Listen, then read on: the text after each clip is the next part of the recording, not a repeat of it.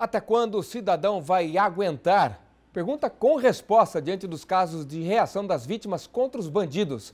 Este é um dos nossos assuntos de hoje e você vai ver também. Há casos em que a revolta gera nova violência. Ocupação de solo é tema de discussão para definir propostas do plano diretor do município. Quadro Eu Vi reportagens ajudam em problemas pela cidade. Hoje é quinta-feira, dia de ensaio geral aqui na TV Claré. E os convidados especiais são vocês. E o projeto do DAI vai produzir mais de 30 mil mudas para plantio em mata ciliar.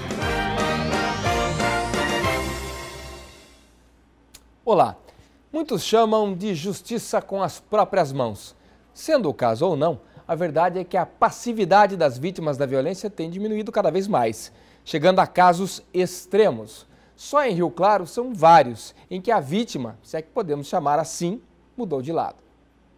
Uma população cansada de ser vítima. Uma população que não está pensando mais duas vezes na hora de colocar a própria vida em risco para defender seus direitos, que diariamente são roubados por marginais. Não pensei em nada, eu fiquei transfigurado, não pensei em nada. Eu peguei e fui em cima dele. Segurei na mão dele e tacou o revólver na minha testa. Obrigado, ele só não me matou porque ele não quis me matar. Em maio deste ano, um empresário, após ter a fábrica assaltada, perseguiu bandidos pelas ruas de Rio Claro para recuperar uma lote com mais de 30 mil reais que seria utilizado para pagar os funcionários. Ele atropelou um dos marginais e imobilizou até a chegada da polícia. A mãe da vítima chega minutos depois e, revoltada, chuta o homem que quase provocou uma tragédia em sua família. Uma população revoltada a ponto de fazer justiça com as próprias mãos. Após um assalto em uma loja em São Luís, no estado do Maranhão, um bandido de 29 anos foi amarrado em um poste e espancado até a morte por moradores. Um adolescente que também participou do assalto foi apreendido depois de também ser agredido pela população. Ele só sobreviveu porque se fingiu de morto. Fato semelhante quase aconteceu em Rio Claro na última terça-feira. Proprietário e mais três funcionários de uma loja de materiais elétricos foram rendidos por dois bandidos. O descuido de um deles, ao deixar a arma cair no chão, chamou a atenção das vítimas, que perceberam que o revólver era de brinquedo. Os marginais fogem, mas um deles é pego. Ele apanha antes de ser imobilizado.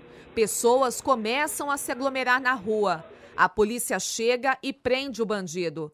O comerciante que foi roubado afirma que o desfecho poderia ter sido diferente. O pessoal queria linchar realmente e eu segurando ele para a polícia chegar. A intenção não era também é, matar ninguém. Ninguém tem que tirar a vida dos outros, mas só que tem que ter justiça, né? A gente não pode tirar uma vida de um ser humano, só que tem que ter justiça. Só que a população queria linchar realmente. O bandido, por ter apenas 17 anos, foi levado à delegacia e liberado. Já o trabalhador seguiu a sua rotina agora com a companhia do medo e o sentimento de impunidade. Eu trabalho de segunda a segunda para sustentar minha família. E um vagabundo desse rouba e já está na rua. Qual que é a lei do nosso Brasil? Pergunta difícil de responder comigo aqui o Adriano Marque, ele que é presidente da Comissão de Segurança Pública da OAB aqui de Rio Claro. Adriano, dá para responder essa pergunta da vítima da violência? Para onde vai este Brasil? Qual é a lei? Antes de, primeiramente, agradecer a, mais uma vez o espaço aberto para que a OAB esteja presente, em contato com a comunidade, então a toda a equipe da TV Claré, que está sempre recebendo a gente com maestria. É, é equipe de primeira e reportagem também sempre de ponta. É um momento importante, uh, apesar da corrente querer calar a mídia, existe uma corrente forte eu acho que nesse momento a mídia vai ter um papel, mais uma vez, fundamental uh, em tentar, não é esconder a matéria, mas a gente precisa é, dar uma desafogada nos ânimos da comunidade. Por quê?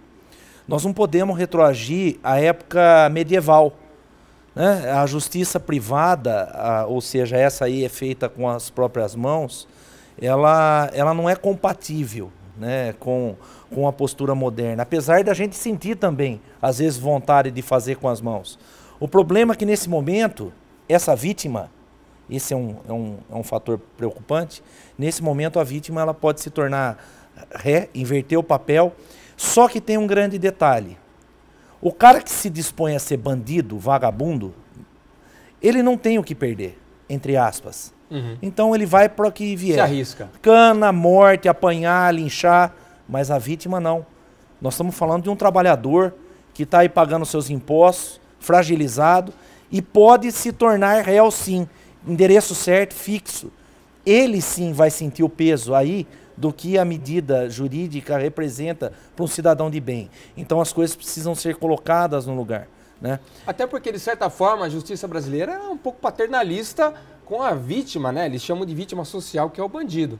De certa forma, acontece um pouquinho, a gente acompanha aí as punições. Como você falou, o, o réu, cidadão, talvez a punição seja mais severa, né? É, porque mesmo que o cara pegue cinco anos de cadeia para o maior, para o menor, aí é uma internação de três anos, que isso não ocorre. Não, não ocorre. Não ocorre. Se ocorresse, seria importante. Discute-se tanta coisa paliativa, mas a prática é diferente da realidade, da, da, da ilusão. Aí a gente, é, a gente verifica esse contexto, né? É, obviamente que é, a comunidade está cansada, fatigada, o Estado ele precisa começar a resgatar a autoridade, não é autoritarismo, é autoridade e o respeito. Falta né? de omissão aí, né? Em especial o Estado político, né? que perdeu completamente o respeito. Então isso é culpa de um sistema que está é, completamente defasado. Né? Olha uma pesquisa interessante aqui, Adriano, chamar a atenção, divulgada hoje em São Paulo, que diz que a violência assusta 56% das crianças e adolescentes. A pesquisa da rede Nossa São Paulo identificou essa opinião dos jovens. Né? Os dados são aí indicadores de referência de bem-estar no município. E ó, só para ter uma ideia, 61% né, disseram ter medo de assalto e roubo, tá aí a informação para você conferir. 56% tem medo da violência, 33% se sentem inseguros com o tráfico de drogas, 21% tem medo de sair à noite. Poxa, sair à noite, imagina a situação. E 20% dos jovens afirmaram só ter medo da polícia. Né? Do, do, no caso da polícia ser um pouquinho mais é, truculenta aí no caso. Aí entraram também acidentes de trânsito, racismo e preconceito como índices menores. Né? E aí o que, que a gente fez? A gente foi às ruas, isso lá na Grande São Paulo. Nós fomos às ruas aqui em Rio Claro saber da população daqui o que, que eles pensam sobre esse assunto. E em Rio Claro a situação não é diferente. A violência é o que mais assusta e deixa os entrevistados apreensivos. Saída de banco, essas coisas. Hoje em dia tá cada vez pior, né? Assalto, é, agressão. Fica mais preocupada, fica mais atenta. Você cria a tua família num lugar inseguro, você fecha ela em grades com, a, com cerca elétrica, aí você cria uma pessoa já com insegurança, você já cria a pessoa com medo do mundo. É, Adriano, parece que é, a população parece que chegou num, num beco, né? Ela está acuada. É, tem como cobrar do Estado melhorias e providências? É, veja bem, é, é que se a gente entrar nesse assunto, é enxugar gelo. Até porque o cenário brasileiro é sempre o mesmo. É, troca a ala B para a ala A, a ala A vem no poder, a ala B já está se preparando para retomar e fica mesmo cenário, o mesmo político. Nós, como comunidade, teríamos o poder do voto e mudar essa realidade, a gente mantém esse bando de gente ineficiente, que aliás é um princípio constitucional. O artigo 37 ele fala do princípio da eficiência, entre outros princípios, né? E a gente vê que o Estado não é eficiente. O Estado não é eficiente em colocar escola decente, em manter o cidadão o, o dia todo trabalhando ou estudando. O Estado ele cria leis que vai contra a, o próprio sistema. O Estado ele cria uh, muitas vezes uma legislação que, além de ser utópica e hipócrita, né, enquanto isso a sociedade vem sendo é, prisioneira do medo, né, uhum. e a gente se inclui nisso. Minha casa, ou melhor, a casa dos meus pais, meu pai é cadeirante. Sete vezes eu tive visita de, de, de é, extraterrestre, né? Vamos dizer dessa forma. Sete então, assaltos. É, eu sei o que é isso, tá? Uh, eu sei o que é isso. A sensação do medo e depois a, a, a sensação de impotência. Esse cidadão que teve o comércio dele afasta, uh, assaltado, certamente hoje não é só do medo, é de impotência. E essa impotência, essa sensação contínua de impotência tem despertado esse lado animal do ser humano, e aí mais uma vez o Estado ineficiente não é capaz de dirimir isso. E o problema de tudo isso, voltando à questão da mídia, a importância, ontem um, um, um amigo disse o seguinte, muitas vezes, a, a, hoje com internet, com Facebook, WhatsApp e tudo mais, uh, muitas verdades é, acabam sendo descredibilizadas. E muitas mentiras levam à tona esse ódio humano, a ponto de uma senhora, mãe de família, esses dias, ter, é, em razão de uma confusão, a mulher não teve direito de defesa, ela foi morta. Foi aqui no estado de São Paulo, num, num, num, num bairro mais simples, acharam que fosse a mulher, a comunidade linchou essa mulher e matou essa mulher. É. Então é o outro lado dessa é, justiça com a própria mão, a justiça privada. Né? É perigosa. É perigosa. perigosa. A gente chama atenção para isso. Adriano, mais uma vez, muito obrigado pela sua participação aqui no Rio Claro Notícias. Viu?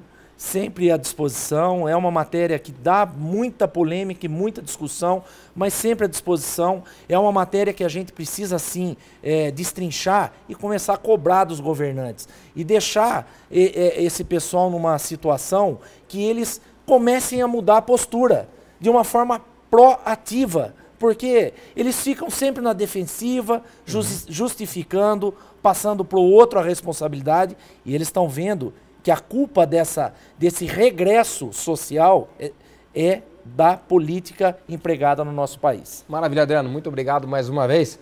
Bom, no próximo bloco o assunto é política. Vamos falar aí sobre mudanças na última semana na base do governo e também da aprovação da presidente Dilma Rousseff. Já já no Rio Claro Notícias.